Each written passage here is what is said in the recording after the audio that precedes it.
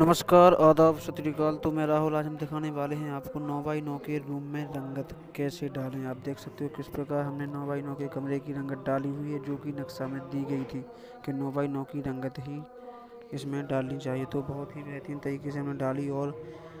new video देखने के लिए बने रही हमारे साथ क्योंकि हम रोज़ ही न्यू वीडियो लेकर आते ही रहते हैं मकान से संबंधित किसी भी प्रकार की वीडियो हम रोज़ लेकर आते रहते हैं धन्यवाद